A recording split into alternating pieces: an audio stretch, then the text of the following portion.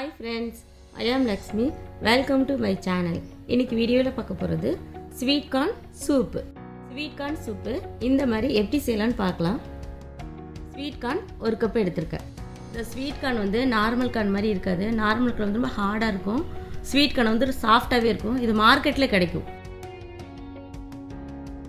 ஒரு கப் தண்ணி ஊற்றி வேக விட்டுலாம் வேக வைக்க ரெண்டு நிமிஷம் ஆனாவே போதும். வெந்துடும்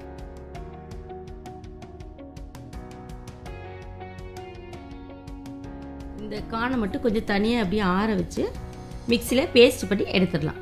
நான் வெண்ணெய் சேர்க்குறேன். நீங்கள் நார்மல் ஆயில் கூட சேர்த்துக்கலாம். இஞ்சி ரெண்டு டீஸ்பூன் பூண்டு ரெண்டு டீஸ்பூன் ஸ்டவ்வை சிம்லேயே வச்சு நல்லா வதக்கிடலாம்.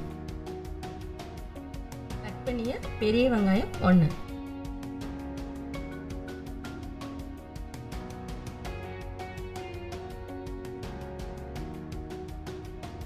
கட் பண்ணிய? கேரட் கொஞ்சம்.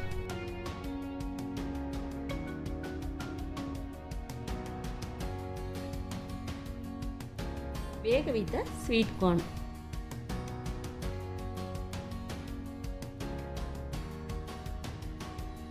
கார்ன் வேக வச்ச தண்ணியோட மூணு கப் தண்ணி சேர்த்துக்கலாம்.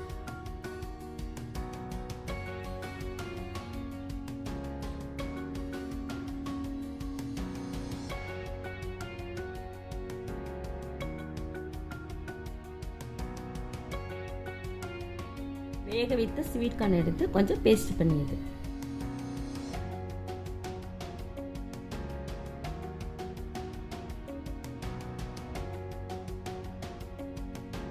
கொஞ்ச நேரம் நல்லா கொதிக்கட்டும். ரெண்டு ஸ்பூன் கார்ன்ஃப்ளவர் மாவு. தண்ணியில் ஊற்றி நல்லா கரைச்சிடலாம்.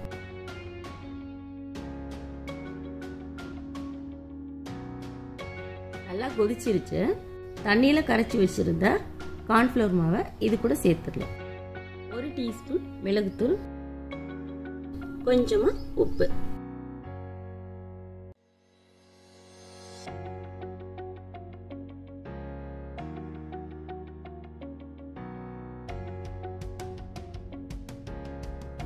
ஸ்டவ் ஆஃப் பண்ணிடலாம். லெமன் ஜூஸ் ஒரு teaspoon